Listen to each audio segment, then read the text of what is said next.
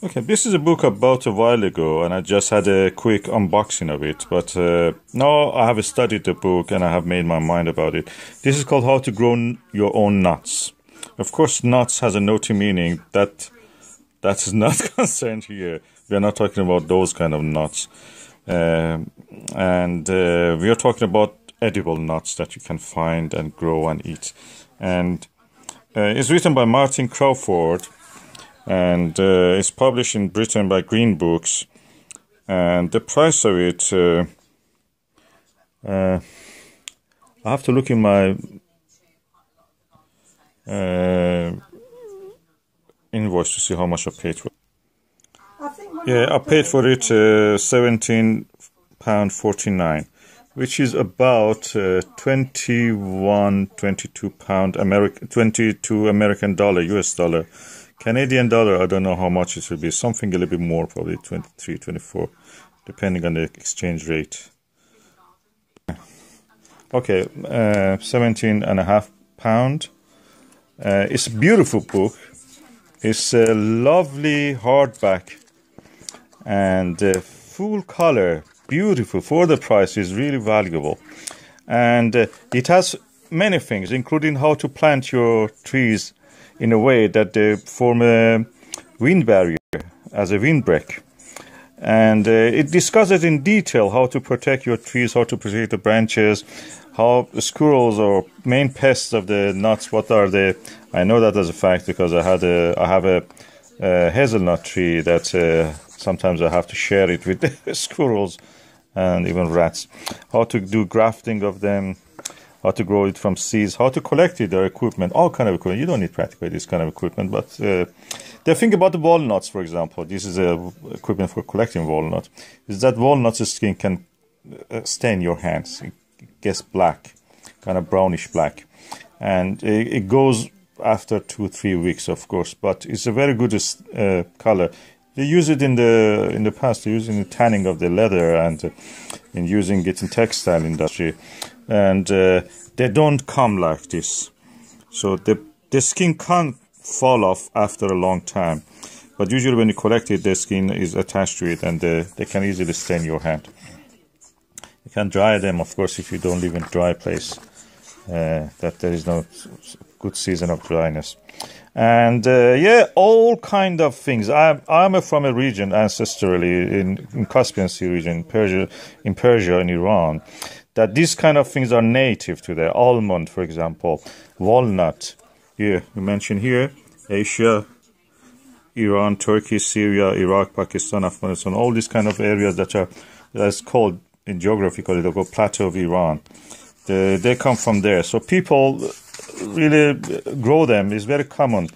A walnut tree it can be a good source of income for someone. One single walnut tree, you can live with it practically with the income of walnut tree, and it has a good value.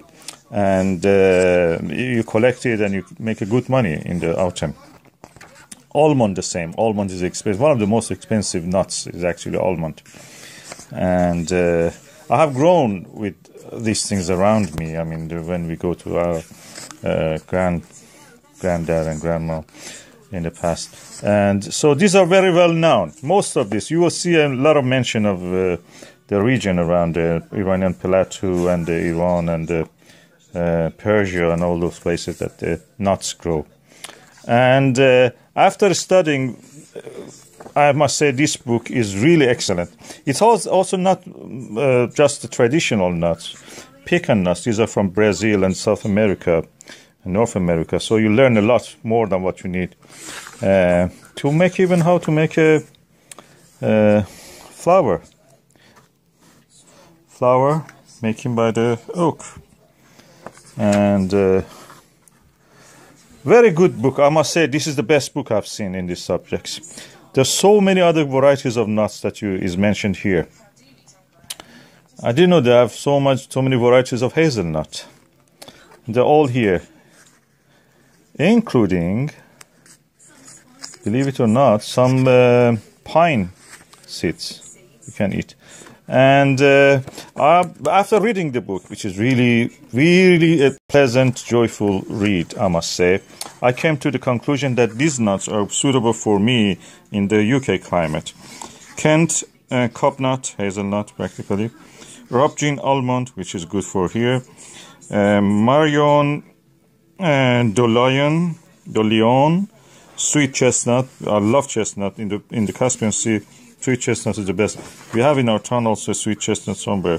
It's a secret site for I know where it is.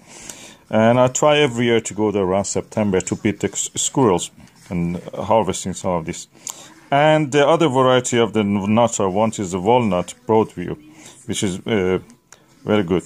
And then the Friday 6th of the January 2017, which I was studying, also pomegranate Provence hardy sweet. This is the pomegranate that may grow here in Britain. So all in all, I think this is a lovely book. Yeah, I recommend if you want to buy it or if you have a library around you. I've not seen it in libraries, but uh, if there is a library who has it or you can order order it for you, go for it. It's better to have it. It's not very expensive. The equipment for cracking the nuts, of course, is here, and you can use just a hammer and a stone or anything. Sometimes you can even just do it by hand. There is a kind of walnut in Iran called paper, paper thin. And just break it by hand. It's easy.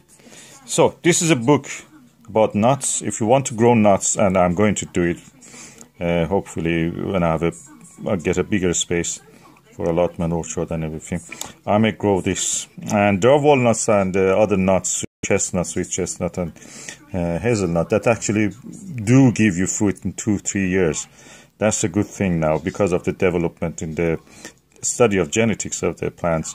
We can now have this kind of luxury of the plants, which usually took many years, many decades actually to come to fruition. Now you can have it in two, three, four, five years to fruition. It's a book that you have to buy probably. It's a joy to read. It's a beautiful book, and uh, it's by Martin Crawford. And you know now what is it.